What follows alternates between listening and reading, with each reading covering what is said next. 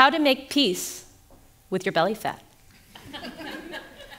when I was a young girl, my Vietnamese refugee mother, a manicurist, went in for plastic surgery. A tummy tuck, the narrowing of her nostrils, and a chin implant, and figured she would be home the next day with her beautiful new body. Two hours into the operation, she lost oxygen to her brain. The human brain can go without oxygen for up to four minutes before permanent brain damage occurs. 14 minutes passed before the surgeon called 911. After five days in a coma, she flatlined. She was just 38 years old, and I was 11. For the next two decades, my family never spoke of her or how she died. I kept asking questions, but they said I was being too emotional, stuck, living in the past. And I believed them. But I always felt like there was something missing, and nothing I could do could fill that void. Even though I lost my mother to extreme beauty standards, my father and aunties would openly criticize my body at the dinner table. No one is going to love you if you're too fat. And when I say fat, I mean they were concerned I wasn't a size zero or size two. I was a monstrous size six, and this terrified them. They were afraid that I would become unmarriageable, destined to die alone. And they reminded me of this every time I called, every time I visited, every time they fed me, which made eating quite complicated. But it's those kinds of lines that can sink deep into your psyche, minimizing who you think you are and what you think you could be. My worthiness was tied to my body because my elders' approval meant everything to me. So then I took on their degrading words and then I did the work for them. I became desperate willing to date anyone with a pulse, hoping that if they cared for me, then maybe they could fill the void of my mother's death. I stayed in abusive relationships too long. I gave my body away to strangers like it was no big deal. But maybe the honest truth I couldn't admit was that I didn't think I was a big deal. I didn't deserve to be happy because I was so flawed. And if I was in a relationship, no matter how dysfunctional, I better stick with it because who knows if I could get anything better. All of this thinking took up a lot of energy. Instead of focusing on pursuing my own dreams, I became obsessed with my body in all the wrong ways. I remember right after my mom died, I started a food and exercise journal. I've done all the diets, tried all the exercise fads, gone on silent meditation retreats, chanted positive affirmations in the mirror, and none of it has ever worked. None of it has ever worked because I was so disconnected from my body.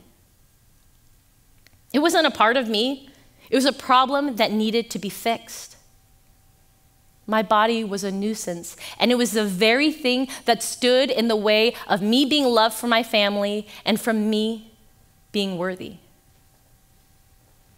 All things told, I was a living hypocrite. I wrote and performed a solo show about how beauty killed my mother. Yet, even then, I felt insecure in my own skin. Getting dressed in the mornings trying on clothes at stores, it's also triggering. And then after having a baby, I was devastated about my body. All I wanted was to return to my pre baby weight. But when I finally got there, I was still disappointed because my body had this belly fat that hung off my body, but now with ugly, ugly stretch marks. Another reminder of my imperfection. My belly fat is the part of my body that I hate the most. I think about it every day. But now, as a mother, I realized it's up to me to stop intergenerational trauma around body insecurity. My mother never felt like she was enough. I don't feel like I'm enough. But I don't want my son to feel that way too. My journey to making peace with my belly fat changed this year at a women's summer solstice gathering, where I had the chance to participate in a three hour sweat lodge ceremony. But they also call it a prayer lodge because you do much more than sweat, and more than sweat. I did.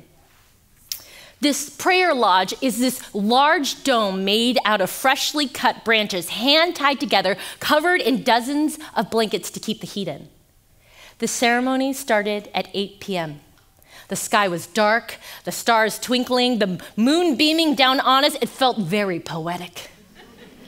Us women were wearing bathrobes and sarongs, and we were sitting on this blue tarp, and we were instructed to make prayer ties, taking square pieces of fabric and sprinkling in combinations of tobacco, cornmeal, sage, and lavender. I made a series of these pouches and tied them to a longer string, whispering my intentions for the evening. I wanted to make peace with my belly fat. We made our way over to a large fire and formed an intimate circle. Inside the center were these large rocks that looked like dinosaur eggs sparking red in the fire. We went around the circle, said our wish, and tossed our prayer ties into the fire and watch them burn, the smoke sending signals up to the great unknown. Our clothes came flying off, and then we crawled into the prayer lodge on our hands and feet and found a spot in the darkness, our bare knees touching. Once we were all in, the fire tender used these tongs and brought the rocks in one by one. We were encouraged to praise each rock and exclaim how beautiful she was and thank the grandmother spirits for joining us. The final flap was closed by a blanket, and then the heat began to rise. Sweat started dripping down my face. I imagined we would do a lot of primal howling and panting, and then maybe the voice of God would descend down upon me and cure me once and for all. I would crawl out of that lodge a new woman, wisdom downloaded into every fiber of my being. But it didn't exactly happen that way. An entire hour passed where I was unbearably hot, and all the women next to me were having their big epiphanies, weeping their truths into the circle. And the only feeling that I had that kept resonating in me over and over again was thirst. I crawled out of that lodge, took a water break, came back in, and that's when it happened. My fat and I had a one on one. I asked it questions, and then it spoke back to me. Why can't you be what I want you to be? But instead of my fat reassuring me of my innate worthiness, it was pissed at me. Why can't you see me the way I want to be seen? I froze. That was the same exact dynamic between my living father and me. It kept talking. You wanted a baby? You got one. Haven't I given you everything you ever wanted? I guess so. So then I do exactly what I'm programmed to do, and I look the way I'm supposed to look. Your mother looked like me. Your grandmother looked like me. But you get upset when you're not Barbie thin. You keep expecting me to be something I'm not. It's not me with the problem, it's you that echo between my father and me. The mismatch expectations, the constant disappointment, never being enough, no matter what. And that's when it hit me. This was intergenerational trauma in action. My mother's elders warned her that her worth was tied to her body. My elders did the same to me. And here I was doing the work for them, beating myself up in their stead. But when I was putting myself down, I wasn't just judging me, I realized I was also judging my ancestors. The way my body looked wasn't just my own doing, but rather it was this byproduct of the traumas my ancestors endured that have spanned centuries famine, war upon war, a refugee boat escape. Everything that my ancestors went through influences what my body looks like today. Their bodies were capable and resilient, and mine was too. But every time I was disgusted with my body, I was essentially saying I was ashamed of where I came from and who I came from. There I was, now at a fork in the road. I could be stuck in my own samsara and endless suffering around my body, or I can change. If only I could see my body as my ancestors' last gift to me, something to be grateful for, then maybe the struggles with my body could finally change. The memories of the dinner table came flooding back to me all the ways my family made me feel so small, where love was conditional. All inner child Susan wanted was to be heard, to be listened to. She wanted to belong, to be seen as she really was. And while my elders may not have the capacity to do that for me in this lifetime, now, as an adult, I have the agency to do that for me and my body. What would it look like if I radically witnessed my belly fat? All my body was asking for was for the space to say something back. So here's the big idea what if I listened?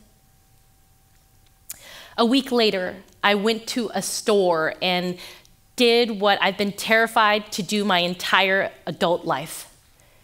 I tried on a crop top.